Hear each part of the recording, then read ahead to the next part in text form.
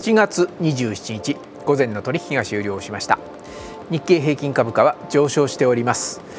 昨日の終値と比べて43円25銭高の2万飛び飛び93円41銭で取引を終えました。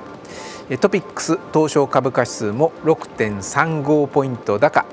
JPX 日経400も53.28ポイント高とそれぞれ上昇しました。値上がり銘柄数は東証一部全体の約58%の1166銘柄でしたこれに対して値下がり銘柄数が約33%の665銘柄という状況で、えー、値上がり銘柄数が値下がり銘柄数を500銘柄ほど上回ったというのが前場の動きです。規模別で見ましても大型、中型、小型いずれも上昇しておりまして、規模別の株価指数はそれほど大きな偏りは見られておりません。全体的にまんべんなく上昇したという展開であります。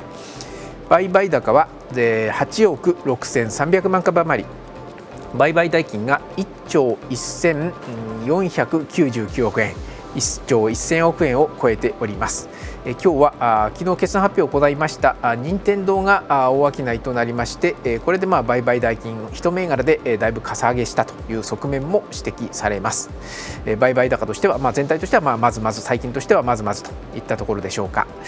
えこういった中で、え外部環境追い風となっておりました、え昨日のヨーロッパの株価が総じて堅調、えアメリカではあニューヨークダウなど主要3指数が揃って最高値を更新しました、え高決算銘柄が多かったということが素直に交換された形であります。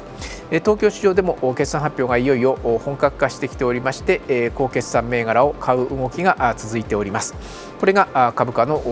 押し上げ要因という動きでありますが一方で為替相場はやや円高方向に触れております。円高ドル安に触れております。昨日のアメリカで FOMC の結果が発表されまして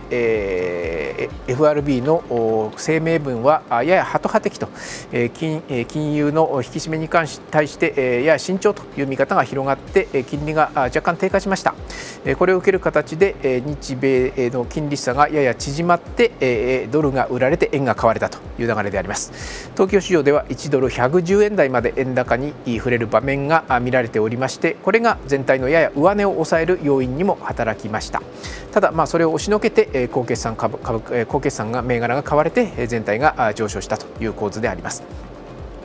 こういった中で今日上昇が目立った銘柄といたしましては何と言いましても7974の任天堂です、えー、売買代金は東証一部あると言いますか東証で、えー、ダントツのトップでありまして、えー、東証一部の売売買代金全売買代金の約16%を一銘柄で占めたという形であります、えー、昨日発表いたしました今3月期の第一四半期決算で、えー、最終利益が212億円と前年同期の245億円から急回復したということなどが素直に交換されました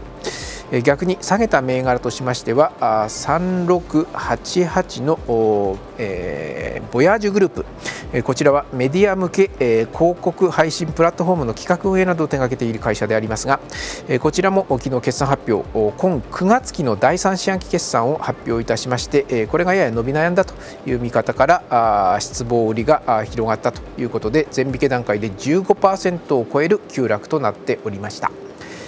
以上今日全引けの模様東証アローズからお伝えしました。